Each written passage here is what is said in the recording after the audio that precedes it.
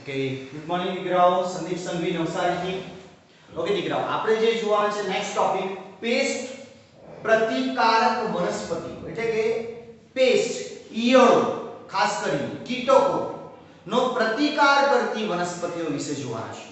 હવે આ થિયરીને સમજતા પહેલા તમને ખબર હોવી જોઈએ સેન્ટ્રલ ડોગમા. તો સેન્ટ્રલ ડોગમા એટલે શું? Central dogma.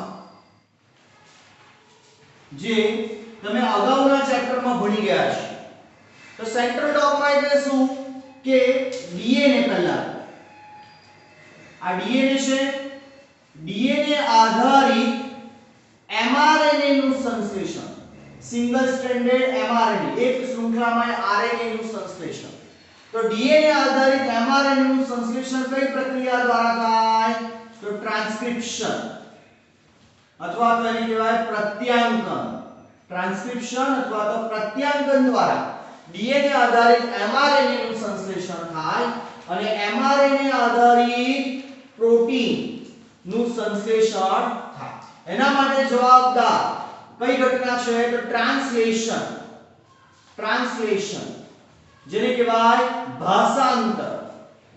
તો આ ઘટના જેને સંપૂર્ણ રીતે કહેવાય સેન્ટ્રલ ડોગમા, જે ક્રિક નામના વૈજ્ઞાનિકે આપી ફ્રાન્સિસ ક્રિક તો સેન્ટ્રલ ડોગમા એટલે શું ડીએનએ આધારિત એમઆરએનએ એમઆરએનએ આધારિત પ્રોટીન સંશ્લેષણ કોઈ પણ જનીન અભિવ્યક્ત કેવી રીતે થાય કે જ્યારે ડીએનએ આધારિત એમઆરએનએ બને એમઆરએનએ આધારિત પ્રોટીન બને પ્રોટીન બને એનો મતલબ એવો થાય કે જનીન અભિવ્યક્ત થશે. એટલે આપણે જો કોઈ પણ પ્રક્રિયાની વાત કરીએ કે આ જનીન અભિવ્યક્ત થાય છે, એના માટે જવાબદાર શું હોય પ્રોટીન પ્રોટીન બનશે, તો જ નિશ્ચિત પ્રકારનું લક્ષણ પ્રદર્શિત થશે.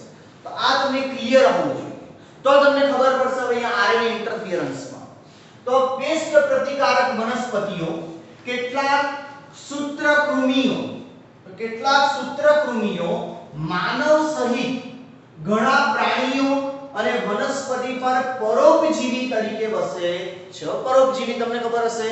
પરોપજીવી બે પ્રકારના હોય. અંતઃપરોપજીવી બાહ્ય પરોપજીવી અંતઃપરોપજીવી જે આપણા શરીરની અંદર વસવાટ કરે અને આપણી, આપણું આપણું જે પોષણ મૂલ્ય જે છે, પોષક તત્વ જે છે, એમાં ભાગ પડાવે.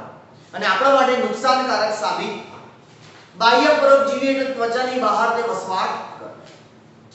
તો કેટલાક સૂત્રભૂમિઓ માનવ સહિત ઘણા પ્રાણીઓ અને વનસ્પતિ પર પરોપજીવી તરીકે વસવાટ. જેમ કે મનુષ્યમાં થતો રોગ. એસ્કેરિયાસિસ તો સૂત્રકૃમિઓ. આ સૂત્રકૃમિઓની મદદથી મનુષ્યની અંદર એસ્કેરિયાસિસ પ્રકારનો પાચન તંત્રનો રોગ થાય. અહીં આપણે વાત કરવાના છે વનસ્પતિ. તો કેટલાક સૂત્રકૃમિઓ માનવ સહિત ઘણા પ્રાણીઓ અને વનસ્પતિ પર પરોપજીવી તરીકે વસે. સૂત્રકૃમિ. હવે અહીં જે આપણે મોસ્ટ ઇમ્પોર્ટન્ટ ઉદાહરણ જોવાના છે. મેલાઇડો મેલાઇડેગાઇન ઇનકોગ્નિશિયા. હવે રિયલ એનું નામ છે મેલોડીજાઇન મેલોડીજાઇન ઇનકોગ્નિશિયા. તો સૂત્રકૃમિ, આ મેલિડોગાઇન ઇનકોગ્નિશિયા જે છે, જે તમાકુનો છોડ, તમાકુના છોડના મૂળ તંત્રની અંદર, જેમ કે આ તમાકુના છોડનું મૂળ તંત્ર ત્યાં તેને ચેપ લગાડે, એને રોગ લગાડે. આ ઉપરાંત આ જ સૂત્રકૃમિ તમાકુના છોડના પર્ણો ઉપર પણ ઇન્ફેક્શન રોગ લગાડી શકે. તો અહીં આપણો ગોલ શું છે? આ તમાકુના છોડને આ મેલોડીજાઇન ઇનકોગ્નિશિયા સૂત્રકૃમિથી બચાવવાના છે. તો મેલોડીજાઇન ઇનકોગ્નિશિયા તમાકુના છોડના મૂળ પર ચેપ લગાડીને તેના ઉત્પાદનને ખૂબ જ ઘટાડી દે છે. થશે શું?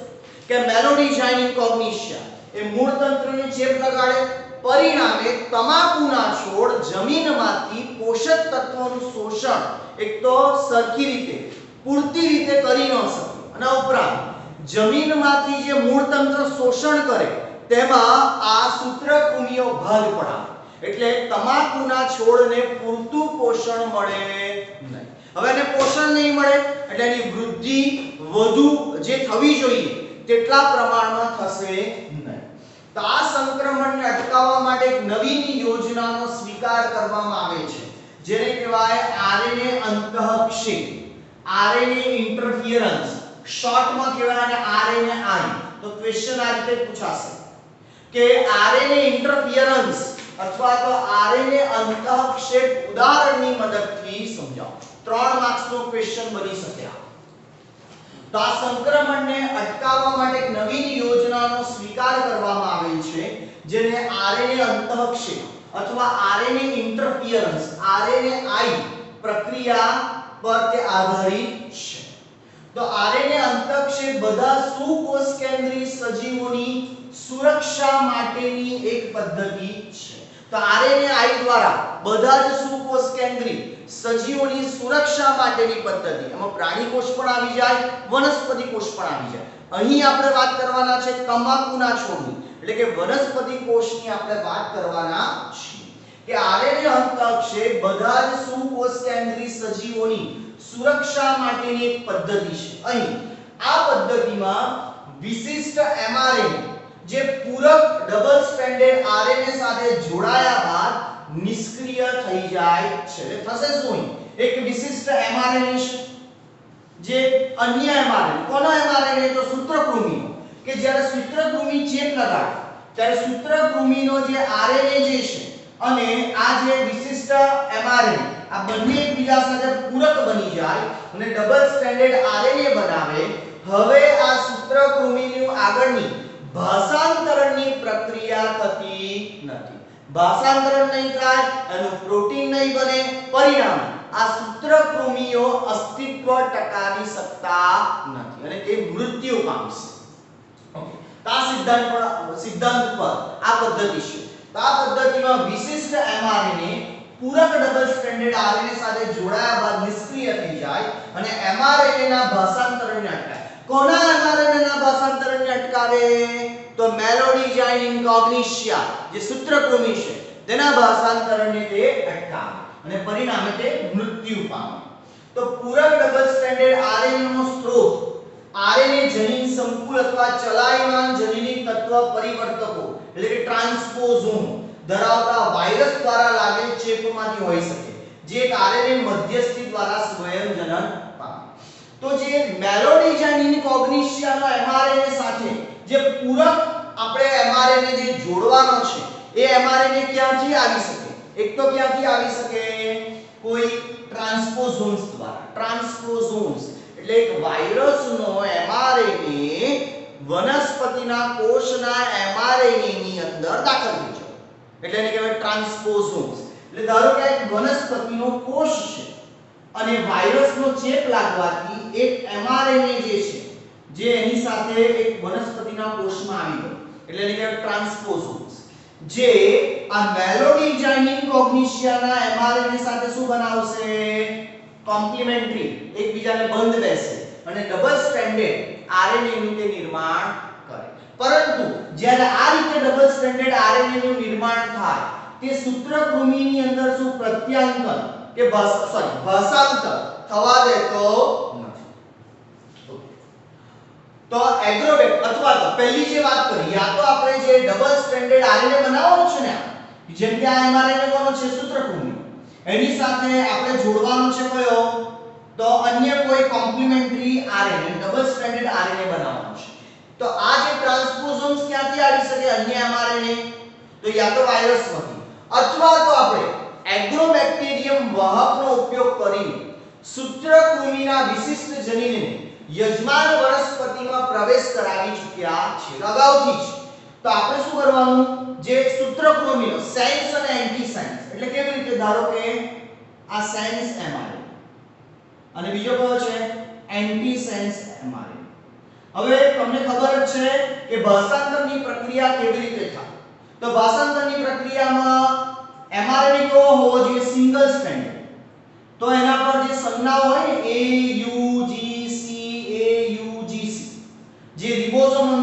જોડાય. અને તેના આધારિત એમિનો એસિડ ગોઠવાઈને શું બનાવે? પ્રોટીન બનાવે. પણ જો આ એમઆરએનએ સાથે અન્ય બીજો એમઆરએનએ જોડાઈ જાય, તો એ ડબલ સ્ટ્રેન્ડેડ આરએનએ બની ગયો.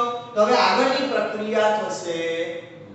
એટલે આપણે શું કરવાનું છે? અગાઉથી આ જે પ્રોટીન જે ટોક્સિક પ્રોટીન બનાવશે, ઝેરી પ્રોટીન બનાવશે સૂત્રકૃમિની અંદર જે બનશે, અને જે આ તમાકુના છોડને નુકસાન કરે છે એ પ્રોટીન બનતું આપણે અટકાવવાનું છે. તો અટકાવવા માટે આપણે શું કરશું? અગાઉથી વનસ્પતિના કોષની અંદર આ એમઆરએનએ સેન્સ એમઆરએનએ ની સામેનો કોમ્પ્લિમેન્ટરી એમઆરએનએ અગાઉથી એગ્રોબેક્ટેરિયમ વાહકનો ઉપયોગ કરીને દાખલ કરે છે. એટલે એન્ટીસેન્સ પણ આપણી પાસે અગાઉથી વનસ્પતિના મૂળ તંત્રના કોષોની અંદર હાજર છે. તો ડીએનએ નો પ્રવેશ એવી રીતે કરાવવામાં આવે જેથી તે યજમાન કોષમાં અર્થપૂર્ણ અને પ્રતિઅર્થપૂર્ણ આરએનએ નું નિર્માણ કરે અને આ બંને આરએનએ એકબીજાના પૂરક હોય. જે બેવડા કુંતલમય ડબલ સ્ટ્રેન્ડેડ આરએનએ નું નિર્માણ કરે અને જેનાથી આરએનએ અંતઃક્ષેપ શરૂ થાય છે. જેના કારણે સૂત્રકૃમિના વિશિષ્ટ એમઆરએનએ શું થાય?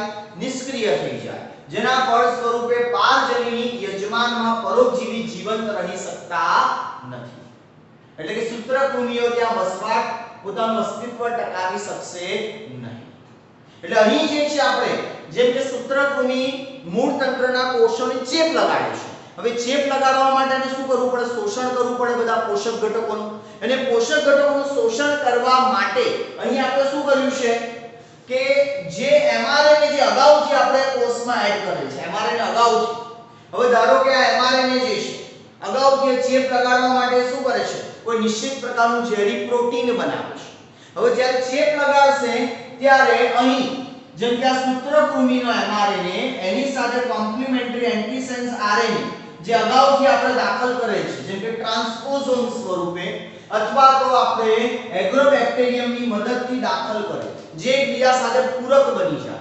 પરિણામે સૂત્રકૃમિમાં ભાષાંતરની પ્રક્રિયા નહીં પ્રોટીન નહીં બને, પરિણામે સૂત્રકૃમિ પોતાનું અસ્તિત્વ ટકાવી શકતા નથી. અને જો સૂત્રકૃમિ પોતાનું એમઆરએનએ કોષની અંદર દાખલ કરે, તો એન્ટીસેન્સ એમઆરએનએ તો અગાઉથી હાજર જ છે. જે આ સૂત્રકૃમિના એમઆરએનએ સાથે જોડાય છે. અને આગળની પ્રક્રિયા થવા દેશે નહીં.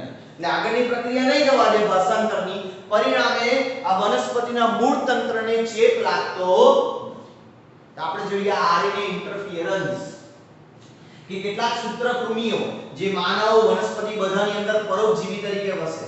અને સૂત્રકૃમિએ મેલોડિગા કોગ્નિશિયા પરોપજીવી એટલે શું કરે? કે પોતાનું જે જનીનિક દ્રવ્ય પણ વનસ્પતિના કોષમાં દાખલ કરી મૂકે. અને એના ઉપર આધારિત તે હોય. પોષણની દ્રષ્ટિએ અને ઉપરાંત પોતાની ભાષાંતરની પ્રક્રિયાની દ્રષ્ટિએ પણ તે આધારિત હોય. એટલે એને પોતાનો પ્રોટીન બનાવવો છે. એ પોતાનો પ્રોટીન કેવી રીતે બનાવે? તો આ જે યજમાન વનસ્પતિના કોષની જે મિકેનિઝમ જે છે એના ઉત્સેચકો બધું વાપરીને પોતાનું પ્રોટીન બનાવવા માંગે. પણ અહીં જે છે આપણે અગાઉથી વનસ્પતિના કોષમાં શું દાખલ કરે છે? Antisense mRNA. એટલે જે સૂત્રકૃમિના એમઆરએનએ સાથે આપણો એન્ટીસેન્સ એમઆરએનએ જોડાય છે એટલે હવે ભાષાંતરની પ્રક્રિયા થાય નહીં, સૂત્રકૃમિ માટેનો પ્રોટીન બને નહીં અને સૂત્રકૃમિ પોતાનું અસ્તિત્વ ટકાવી શકશે નહીં. આ એકદમ ટૂંકમાં મેં તમને સમજાવી દીધું. ઓકે? તો આ મેલોડિનાની કોગ્નિશિયા જે તમાકુના છોડના મૂળ પરને ચેપ લગાડીને ઉત્પાદન ઘટાડે. અને કેવી રીતે કામ કરે? મેઇન આ જોવાનું છે, આરએનએ ઇન્ટરફિયરન્સ એટલે સૂત્રકૃમિનો એમઆરએનએ એની સાથે આપણે અગાઉથી દાખલ કરેલ ટ્રાન્સપોઝોન્સ અથવા તો એગ્રોબેક્ટેરિયમ ટ્યુનિપેશિયન્સ બેક્ટેરિયાનો ઉપયોગ કરીને દાખલ કરેલ એન્ટીસેન્સ mRNA એકબીજાને જોડાય એટલે હવે સૂત્રકૃમિ જે છે, પોતાનો mRNA વનસ્પતિ કોષમાં દાખલ તો કરે, પરંતુ આ એન્ટીસેન્સ એમઆરએનએ જોડાઈ જાય એટલે ભાષાંતરની પ્રક્રિયા થાય. જેથી મેલોડિજાનિન કોગ્નિશિયાનો જે એમ છે, પોતાનું પ્રોટીન બનાવવા, એ પ્રોટીન બને નહીં. અને પરિણામે આ જે સૂત્રકૃમિઓ પોતાનું અસ્તિત્વ ટકાવી શકશે નહીં. તમાકુના છોડમાં ચેપ લગાડ જે લાગે છે સૂત્રકૃમિનો મેલોડી જાઇનિંગ કોગ્નિશન તેને અટકાવવા માટે આપણે આરએનએ ઇન્ટરફિયરન્સ પદ્ધતિનો ઉપયોગ કરીએ છીએ. ઓકે દીકરાઓ all the best happy learning I hope તમને સમજ પડી હશે.